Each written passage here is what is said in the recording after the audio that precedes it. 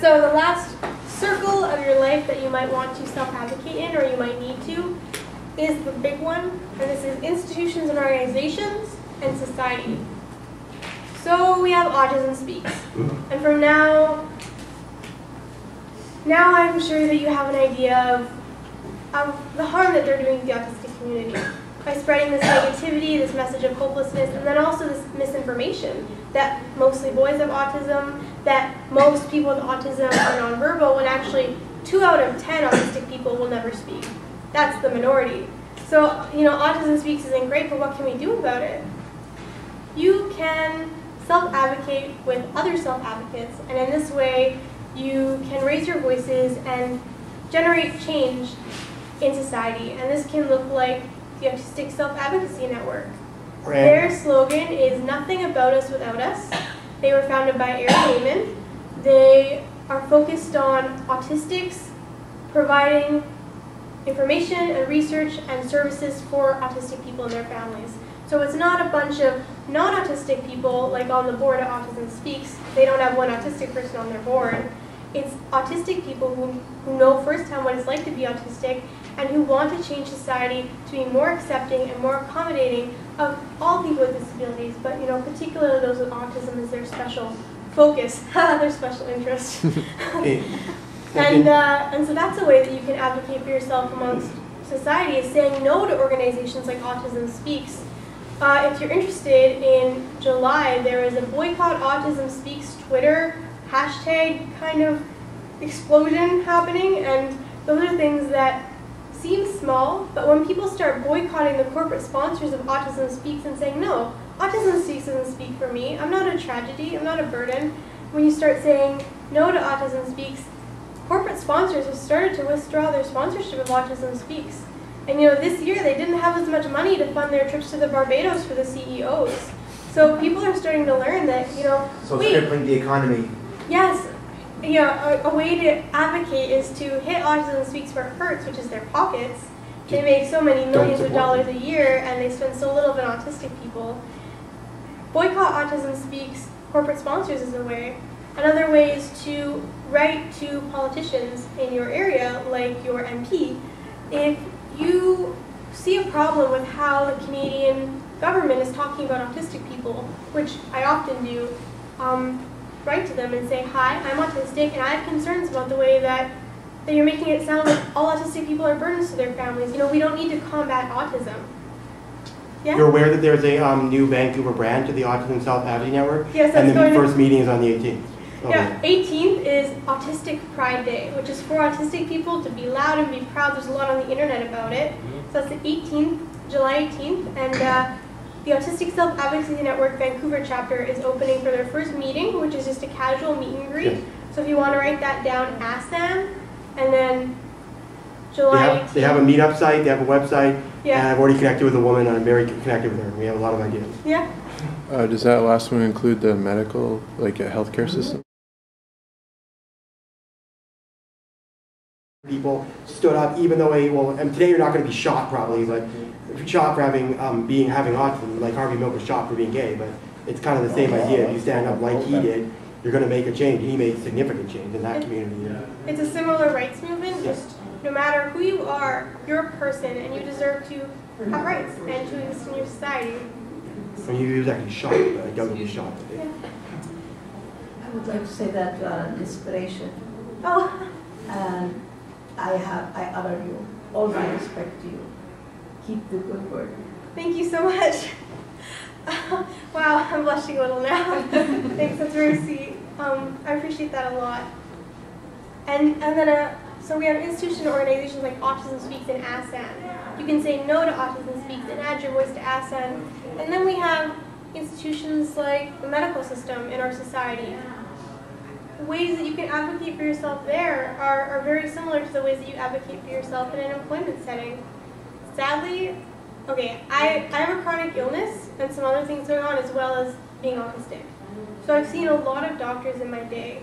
And one doctor I've ever seen out of all the probably dozen doctors I've seen, many specialists, a neurologist, two neurologists knew very little about autism. One doctor knew something about autism. And, and when one in a hundred people are autistic, you know, it's, it's something that you should probably at least have a minimal knowledge of. But a lot of doctors don't. think. So what I've found that I have to do, which is a little bit disheartening sometimes, but you do what you gotta do to survive, right? Is actually coming with a brief explanation of autism, coming with a brief explanation of sensory processing disorder, and then you can present that to your doctor because I've found that it's impossible, or very hard at least, to get medical care, especially mental health care that you need, when people don't know that you're autistic or they don't know what autism is. There's been situations where my sensory processing disorder was misinterpreted as depression or as anxiety, when it's not the case. There's been times where people have misinterpreted my autistic traits of having trouble making eye contact or speaking verbally with other things going on or mental illnesses, or they just dismiss my physical symptoms because they assume I have anxiety because, you know, I apparently I come off as quirky or something, you know, something's not quite right there. So the way that you can advocate for yourself in an institution setting like in the Canadian Health Institution is by educating the professionals. Which is a scary thought if you think about it. It totally is, and it it can be scary, and if and there's always a risk that a doctor will be pish posh. My old doctor said, "I'm pretty sure kids have autism," so I knew I wasn't gonna get very far there, and so when I I moved cities, I made sure that I found a doctor and that I came out right away as autistic. And when I saw that he, if he didn't at least have a very thorough understanding of it, he was willing to research it and willing to look it up. I knew I'd found a doctor to stick with. Because one of your rights in the institution of the health system is you get to pick your doctor. Like, I mean, again, it can be hard and you might want a little help on this front, but when it comes to somebody who you're working with intimately to make sure that you're healthy and happy and safe, you want to have somebody that you know you can trust. And so if you feel like you're not safe with your doctor, or if you come to them with information and they keep dismissing you, then it might be time to find another doctor. And if, and if you are on the internet, great site called RateMD, you can see if other people with autism have had experiences with doctors. And then amongst the autistic community, we also tend to trade stories of specialists and doctors and see if we can find one that will work for us. So in this way, it's great to have community connections but the most important thing is to remember that you have a choice in who your healthcare professional is and that it's totally okay and they should be accepting of you bringing information forward and helping them to understand you, educating them a bit on autism, which again is kind of a little ridiculous or frightening that you would have to educate the healthcare professionals on a disorder that's in one in a hundred people, but that's where we are in a society, and by doing these small steps for you today, you create these ripples through society, and more and more doctors will be aware of autism. I know I did that for myself when I got a new doctor, when I went home. I brought in all my tests and stuff, and I said, here, she's like, what's this? I said, kind of a very brief overview of who I am, and you may want to put it on my medical file. That's perfect. That's so great. She's like, oh, okay, What? and that's exactly what she did on it, and because the paperwork I've had to have filled out for ministry and stuff, she loves it, because all she has to do is go in my file, pull it out, and go find the answers she needs to find. That's awesome. So, okay, just to conclude this part about advocating for yourself in society, I have some pictures of autistic advocates doing their thing. This is Melanie Yergeau of Aspie Rhetor. Did I say it Rhetor? I think so, yeah. She is strongly against the puzzle piece symbol, which of course is Autism Speaks symbol, largely in part because she's against Autism Speaks, but also because she and many other people in the autistic community believe that people shouldn't be reduced to a puzzle, and that autism isn't puzzling when you ask autistic people. And a lot of parents use the puzzle piece symbol to kind of mean, you know, we won't stop until our child has no missing pieces, or until every piece fits. But we aren't jigsaw puzzles missing pieces. We're autistic, and we have our impairments, but we're not.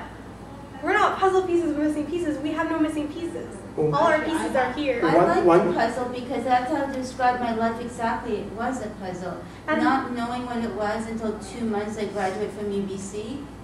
Two months before my graduation hit my diagnosis of Asperger's. Congratulations. Thank you. I wish it would have come sooner for both of us, but Yeah, it's I good that you know, have but it you know now. what? I may not have gotten that far either. So I'm actually glad I got it when I did. Right. And so it's okay if you like the puzzle piece, that's totally cool, but there are many autistic people in the autistic community who prefer not to use the puzzle piece and prefer instead to use the rainbow infinity symbol of neurodiversity. Actually, there's a new one. It's um, have you heard of AU? Oh Autism yeah, the autism gold. Yeah, or That's the gold AU. symbol. Although you got to be careful. I'll tell you about it. Okay, this is um, Lydia Brown of Autistic Hoya.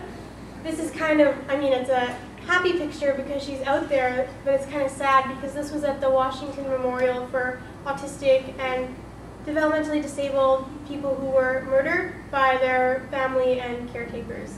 The list is tragically long. Um, actually, uh, can I take a moment of silence for Robbie Robson? Were they in the institution or something? Um, some of them were, but many of them were at home. But um, so if we could just have a moment of silence for Robbie Robson, I'll tell you when it's over.